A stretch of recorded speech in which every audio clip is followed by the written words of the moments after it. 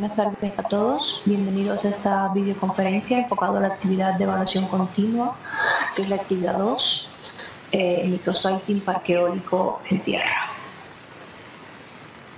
Con respecto a las actividades de aprendizaje, solamente recordar que mañana, eh, el 14 de noviembre, termina la fecha de entrega de esta primera actividad. No es obligatoria, pero una actividad que además de ir sumando puntos en el libro de calificación, eh, pueden aprender bastante de ella. Eh, también tenéis en breve un control, el primer control que es de las unidades 1, 2 y 3 esta es una actividad obligatoria, eh, constituye el 10% de, lo que es la evaluación. Los controles pues son, son tipo test, eh, además de que son, como decía, obligatorios, son importantes de cara también al examen final, ya que tenéis una parte eh, parecida a estos controles.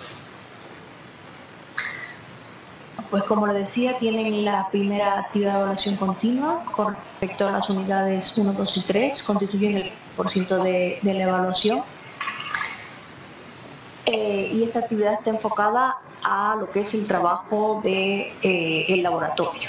En el laboratorio ahora mismo tenéis dos programas eh, con el que trabajar, que son Windows Grapher y Wox. La unidad 3 está dedicado específicamente a ellos. Eh, van a tener los dos hasta el 28 de noviembre. A partir de esta fecha, eh, de Windows Grapher eh, no lo van a poder utilizar y tenéis que bajarse una versión gratuita que está en la web, que dura dos semanas. Por lo tanto, recomiendo pues hacer actividad antes de esta fecha.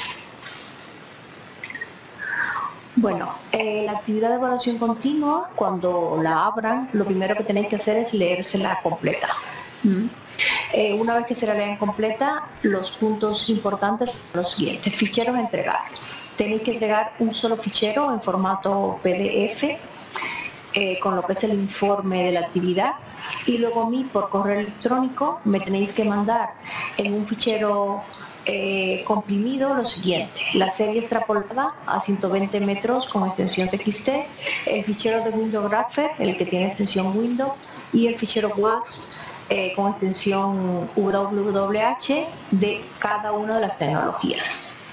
El formato de actividad, pues tienes que seguir pues este formato, pues una portada, el índice de contenidos, los índices de gráficos, imágenes, etcétera, eh, un resumen, el desarrollo en no más de 15 páginas. Si ven que el desarrollo va a tener más de 15 páginas, pues poder, pueden irse a los anexos, eh, unas conclusiones y la bibliografía que esté en algún formato normalizado.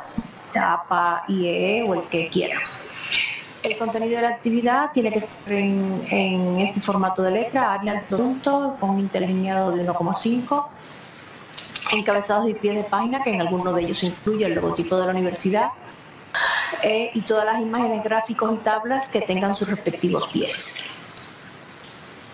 Aquí tenéis lo que es la evaluación, o sea, la presentación, la calidad del trabajo y entrega en plazo, vale un punto, la velocidad de los datos y la capacidad de síntesis, otro punto, el desarrollo de la actividad, seis puntos y las conclusiones, dos. Bien, la actividad, ¿qué es lo que tenemos que hacer? Pues bien, hay que elaborar un informe según las características de, lo que hemos visto anteriormente, donde se incluya el emplazamiento con las características del emplazamiento, los datos de partida, o sea, a partir de que vamos nosotros a empezar. Luego, la localización de los aerogeneradores para cada una de las tecnologías, la 1 y la 2, podéis hacerlo con vía que queráis. O sea, podéis hacerlo con Google Earth, podéis hacerlo con Excel, con AutoCAD, como quieran, siempre que se sigan las buenas prácticas. Luego los resultados de la campaña para 100 metros, o sea, toda esta parte, pues es la parte de lo que es de Windows. Luego ya la simulación de los campos de vientos, eh, y la estimación de la energía eléctrica, o sea, lo que es el cálculo de la energía bruta, neta y efecto estela. Esta es la parte de WAS. El escenario de pérdidas y yo ya lo ves lo de la energía vertida a la red, el tiempo equivalente potencia nominal y el factor de capacidad, ¿vale? O sea, que primero determinan con WAS lo que es la energía bruta, neta y el efecto estela producidos y luego ya hacen estos pequeños cálculos. Los ficheros, los ficheros necesarios para la actividad eh, lo tenemos aquí en esta ruta. ¿vale? Y luego también os doy como dato lo siguiente, o sea, el parque eólico se, está ubicado en la provincia de Cuenca con estas coordenadas UTM para la estación anemométrica. Eh, la potencia nominal del parque será de menos de 50 megavatios. Los datos del viento están en el fichero datosviento.txt.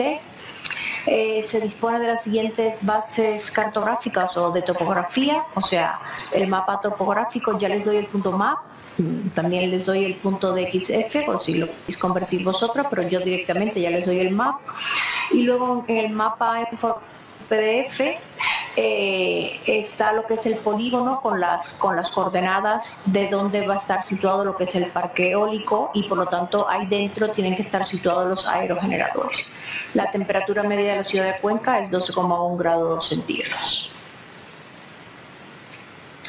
Van a diseñar dos parques eólicos eh, con diferentes tecnologías cada uno. Aquí les doy un catálogo con estos tres fabricantes eh, la altura del buque va a ser a 120 metros y como decía antes, los aerogeneradores se van a ubicar dentro de lo que es el, polígono eh, que habíamos eh, definido previamente en ese PDF que les doy. hay que seguir las buenas prácticas del diseño de la industria eólica, ¿vale? En relación con la distancia entre ellos, ya sea horizontal o vertical. Pues bien, cualquier pregunta, pues ya sabéis los, las vías de comunicación, eh, ya sea por mi correo electrónico, por los foros de tutorías o por los días que tengo tutorías para llamadas telefónicas y mucho ánimo eh, con la utilización de los programas, es algo pues bastante importante. Eh, nos vemos en la próxima, un saludo.